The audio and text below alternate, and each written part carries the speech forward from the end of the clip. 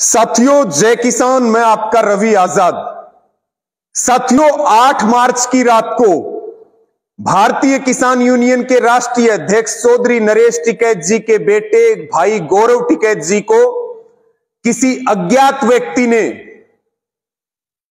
बम से उड़ाने की धमकी दी। पूरे टिकैत परिवार को बम से उड़ाने की धमकी दी। इस अज्ञात व्यक्ति ने कहा कि दिल्ली में भी तुमने आंदोलन किया था। अगर किसानों की लड़ाई लड़ना बंद नहीं किया, किसानों का साथ देना बंद नहीं किया, आंदोलन करने बंद नहीं किए तो पूरे टिकैत परिवार को बम से उड़ा देंगे। और यह सरकार की कानून व्यवस्था की पोल खोलता है।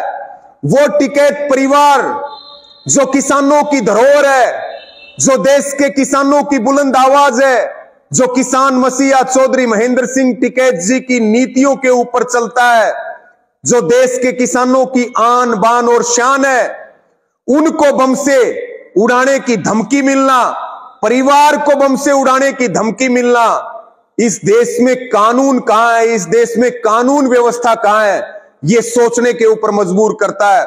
और यह जिस अज्ञात व्यक्ति ने धमकी दी है, उसके पीछे कोई बड़ा हाथ है हम इस व्यक्ति को और उनके पीछे जो हाथ हैं, उनको ये कहना चाहते हैं, जगह तय कर लेना, समय तय कर लेना, बम से उड़ाने वालों को धूल चटा देगा देश का किसान, टिकैत परिवार, अकेला नहीं है, पूरा देश और किसान उनके साथ है। और हम भारत सरकार से भी मांग करते हैं, पहले भी राष्ट्रीय प्रवक्ता चौधरी राकेश टिकैत जी को कई बार धमकी मिली, मुकदमे भी दर्ज हुए। लेकिन भारत सरकार ने आज तक गृह मंत्रालय ने उनको सिक्योरिटी नहीं दी। हम हरियाणा के किसानों की ओर से भी भारत सरकार से ये मांग करते हैं। जिसने धमकी दी है, उसका पूरा खुलासा हो, कार्रवाई हो। और टिकैत परिवार को, चौधरी राकेश टिकैत जी को, चौधरी नरेश टिकैत जी को जेड प्लस की सुरक्षा दी जाए। पूरे देश में घूमते हैं, पूरे देश में आंदोलन के लिए जाते हैं। हर राज्य की जिम्मेवारी है उनकी सुरक्षा करना। वो इस देश के किसानों की एक मज़बूत आवाज़ है। उनको अगर खरोच भी आई तो सरकार सावधान हो जाए।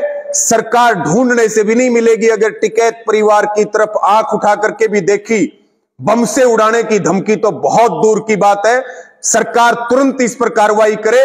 अन्यथा सरकार के खिलाफ जोरदार विरोध भी होगा। इस वीडियो को शेयर करें। धन्यवाद। जय जवान, जय